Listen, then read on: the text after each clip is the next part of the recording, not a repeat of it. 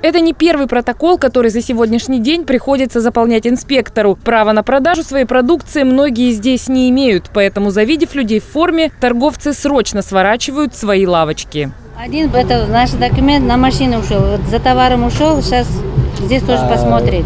Может, здесь найдется. Такие рейды по торговым рядам на русской полицейским приходится совершать каждый день, часто вместе с прокуратурой и администрацией Советского района. Заполнена улица полностью торгашами, грубо говоря, которые осуществляют незаконную деятельность. То есть выявляем, составляем административные протоколы. За один рейд полицейские составляют до 10 протоколов. Штраф, однако, небольшой, до 2000 рублей. Поэтому бесстрашные торговцы снова разворачивают свою деятельность. Это возмущает горожан, и они присоединяются к полицейским в их рейдах в качестве народных дружинников. Но я думаю, что дружина должна быть, потому что как бы с помощью таких, как мы, да, ну, выявляют всякие нарушения.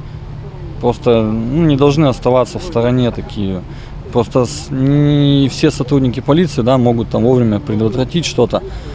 А так мы где-то что-то реагируем, также им сообщаем. Часто незаконную торговлю бдительные граждане пресекают. Например, партию несанкционированного легкого алкоголя в местном магазинчике накрыли по звонку из Москвы. Жалоба поступила из общественной организации э, «За трезвую нац- нацию» называется. Находится в городе Москва, то есть, видать, люди, какой-то гражданин, который неизвестен, э, написал жалобу на их сайт градус.нет, а потом уже эта организация то есть, проверяет сама, э, имеет ли магазин э, лицензию и направляет, если удостоверяет, что лицензия магазина отсутствует, они направляют материал нам. Ходить в форме инспекторы по исполнению административного законодательства во время рейда не могут. Выдают себя за обычных покупателей. Ведь завтра снова выходить в рейд. Светлана Садовая, Станислав Лазебный. Новости на восьмом.